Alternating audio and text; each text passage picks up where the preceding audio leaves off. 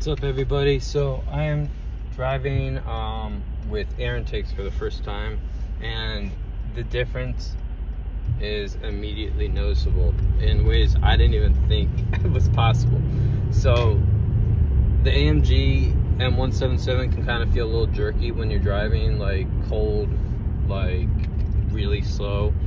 Um, I think it's probably because, of, well, I thought it was because of the, um, what do you call it? the transmission, but putting this new air intake on has smoothed it out at low speeds. All right, so I'm gonna I'm gonna keep pushing here and see if I can pull out any more uh, you know factoids out for you guys. But that was really interesting. I thought I had to share that.